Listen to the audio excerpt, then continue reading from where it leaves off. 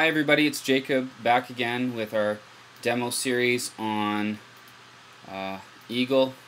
You can see here we're back with our in our um, Eagle uh, window here. You can see I'm using Eagle 6.2 Lite. Uh, if you have not yet downloaded your own copy of Eagle, you can go to the CADsoft website and get a free copy here. The 6.2 Lite is the current version. Uh, I'm working on a Mac, so keep in mind that many of my commands I'm using on Mac, but it's almost identical with PC from what I understand. So anyway, in our first two uh, demos that we did, our first two tutorials, we uh, set up a, a demo project folder here, in which we created our demo rat, um, in which we built our first schematic, um, which uh, happened in our first tutorial, and then we took that same schematic and we turned it into a single-sided layout here. And remember, if you remember from our first couple series, if we double click on our project here, you can see here's our windows with our single-sided layout, which uh, we tweaked for quite a bit. You can continue to tweak this as much as you want. And then uh, here's our schematic that we um, began uh, in our first tutorial, uh, which as you can see is fairly simple. Uh, so as we go back to our project here, we're going to uh, shut this down for a second here. And I'm going to show you uh, today in our tutorial series, we're going to go over how to make double-sided layouts, and I'm going to show you some of the things that you can do in our user interface here where we manage all of our various projects. But what I'm going to do right now is in our demo rat, um, we've got uh, a project here for demo rat. What I'm going to do is I'm going to rename this project the single-sided demo rat. Okay, so all I did is I renamed the original folder. And in my uh, demo project folder, I'm going to create a new project called the double-sided demo rat. Okay, so we've got a single-sided demo rat and a double-sided demo rat. And as you can see, our double-sided demo rat project is empty. There's no ability to see anything in there. What I'm going to do here is I'm going to highlight our schematic here. I'm going to press copy. And then I'm going to go find that double-sided demo rat folder and I'm going to save our demo rat schematic right in there. Now as I open up our project and double click on our schematic you can see we've got a schematic already in our demo rat project right our double-sided demo rat project but we've left behind the original schematic and uh, and our original PCB so now we've got uh, this project is saved right just fine but we can switch back over into our single-sided layout version. Shrink down this because I don't need it to be quite so big. Our single-sided version, and now we can um, do a new uh, PCB. You can do this uh, all sorts of ways. You can create new projects, new folders, drag and drop. For example, here I can go in here and take a, you know, something like this, and I can just even drag and drop, right? And if you've got shortcut commands, you can drag and drop, I think, all over the place. Um, I'm to undo what I just did there, see if I can move it back here. Alright, move this back into that folder. Uh, oh, I probably put it in the wrong folder. Yes, I did. Okay. Alright, so uh, here we are. We're in our double-sided demo rat project. We've got a schematic. And what I'm going to do is I'm going to, as I did in the first uh, time, we're going to set up our PCB by pushing our board um, switch to board command right up there. It's going to ask me to create a new PCB from the schematic. I say yes, and what it does is it pulls up a, a PCB layout window for us to work with. I'm going to size it so that I can still get back to my schematic if I'd like. We are, able to switch back and forth pretty easily. And here we are, we have all of our parts laid out. Um, we still have the same, all the same buttons, so I'm going to quickly switch to my modified um, uh, setting so that I can move all my parts around. I'm also going to switch to my grid so that I have the typical settings that I like to work with ready at hand, and I'm going to chop down our layout into a size that I know will um, work for me right? So I'm, I'm making the PCB about the right size for me to work with based on what I already know, seem to fit. And here we are, we're, we, uh, we, we are much quicker to this space where we can begin to move stuff around. than we were before. Before I move any parts on, I'm going to set up my ground plane. Right, I'm going to isolate at 8.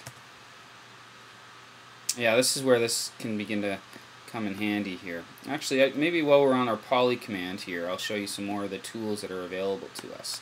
Uh, as usual with the poly, we can select right angle or like any line, you can create wire bends in there. You have the ability to miter, so rounding the corners.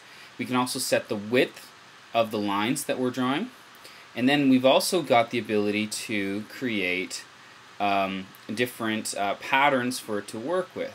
So uh, these are all um, advanced commands. So I would encourage you not to touch them unless you know what you're doing with them. And it's easy to access all sorts of details on this. There's a help window here, but you can also go online and search the database that CADSoft's already created. You can Google stuff. Lots of people will share details on all this sort of stuff. Right now I'm sharing enough to get you going, but these advanced sort of settings are something that even I struggle with and I have to look up. But it's it takes just a little bit of time Googling to find out what some of these things are or, or looking in help windows and searching forums. Uh, the isolate command is one that I actually use all the time. Its factory setting is zero, right? But what I do is I always set it to eight. And what this does is it gives me more space around all the part pads. So when a pad gets placed in the polygon, you get a space between the pad and the polygon and this is what helps set that. So we set the isolate to 8, which is a good setting for when you get manufacturing done. It's above the minimum required for almost all manufacturers that I've seen. So that's what I do is I set it to 8 and then I just go to my corners and I set a big rectangle for my polygon to ground. So this is a ground polygon. Now the thing about double-sided is that we've got basically we've got a top and a bottom of a PCB that we can run lines on. That's the difference between single-sided and double-sided. That's what the difference is, if you didn't know. The bottom side is generally blue, and the top side is generally red. And this is only inside this user interface for Eagle. Um, you can have, obviously when you get a PCB manufactured, um, the copper usually gets put underneath a layer of what we call um, solder mask. This solder mask covers up all the lines that we create on the PCB and leaves open the pads for each part. What this enables us to do is only apply solder to where the pads are and reduces the ability for us to create a bridge between two different parts by hiding all the lines that we make. Now, it's all, all these lines that we make, all the traces for our parts, are created using machines. That's what the manufactured point is. So all of these traces come out and because of the precision of the machines what they do is we can now line up a top side and a bottom side because the computer doesn't uh, unlike a, person when we create an etchable um, layout a single-sided layout we can we can make double-sided etched layouts but they're very complicated and require some precision and some experience and generally DIYers, we don't have the time or the energy or even the, the desire to put so much effort into creating double-sided layouts for etching, especially when you can get double-sided manufactured boards which are much more reliable and much more um, appealing to work with for so, as little money as we can using some sources like Osh Park, Seeed Studio, and other places like that. So what I'm going to do here is we've created a, a ground polygon um, which is on our bottom layer. Now what I'm going to do is I'm going to type again in here, poly, and now I'm going to go up to this window right here, which says which layer we're working on. Right now we're working on the bottom layer. I can select the top layer, and I'm going to create another polygon that mirrors the bottom polygon. Okay, now currently, because I just pressed poly, this top polygon is unnamed. It has absolutely no connection to any of the parts on here. Whereas our blue polygon, which we created before, is connected to all the ground pads, right? Any, any one of these pads that connects to ground is connected to that blue polygon. Now to set this top polygon, as we go here, we can highlight the the part here. Here's another quick tip that you uh, probably I haven't probably showed you yet.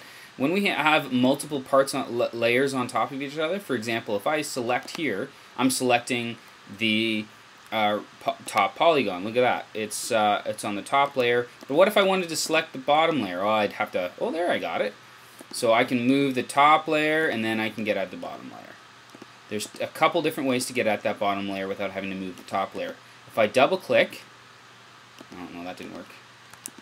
Uh, what I'm doing is I'm right clicking to cycle through the parts that are available to me. So for example here, I can select the top layer. If I right click, there, select the bottom layer. If I right click again, now I've selected the dimensions, which are all so close to each other that the it's maybe it's challenging for the computer to know which one you really, really wanted. Another way to do it is to, before I've even clicked, I press my right click button there. Now I can go to next and next again. Now I'm on the dimension, now I'm on the top layer, now I'm on the bottom layer. I'm just cycling through the options. If I go to my top layer here, now I can see delete polygon. I get all these different tools that will allow me different things to do. Um, here's a cool tool, the dimension tool. If I press dimension, look at that. It instantly tells me exactly how wide I am. Right? And then I can leave that out there so that I can show um, a client if I'm working on something for somebody else or even myself. Um, this, this measuring tool, the dimension tool, is available down here on your on your and you can select all sorts of dimensions. I can figure out how far that line is apart from there. There you go, 0.55 inches. That's a bit silly for me to measure. Once I click, then it allows me to extend it out and it'll show exactly that between that path. Now it's a useless measurement, but that's how the tool works. Okay, so here's the next thing I can do here. Um, I can name it. That's a, actually a fairly important tool right now for me.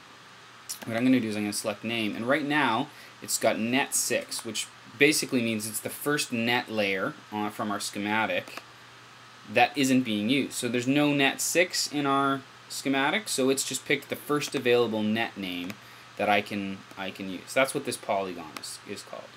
I can rename it now. I can turn it into net 2, for example, and now whatever net 2 is on the on the in our schematic, which is I think this connection here between C1 and pin 1, if I remember correctly. Anyway, so if net, I can turn it into net 2 or net 1, which will connect our input with our first pin on our IC, IC uh, pin 3 on our IC. Um, right? So over here, pin 3 on our IC is connected to the input. We can turn it into that one. But probably um, any of those sorts of connections aren't going to be very important because it's only one connection. But there is a connection that connects at multiple points that may be valuable to have.